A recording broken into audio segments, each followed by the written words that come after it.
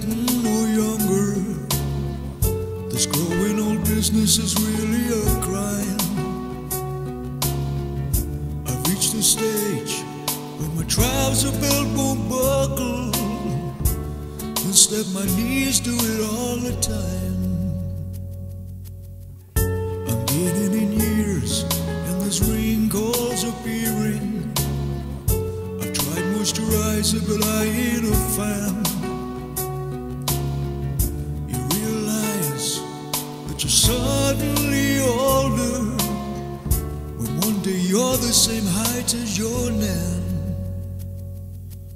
I know they say you gain weight when you're older. Most men wouldn't look at a place wearing bras.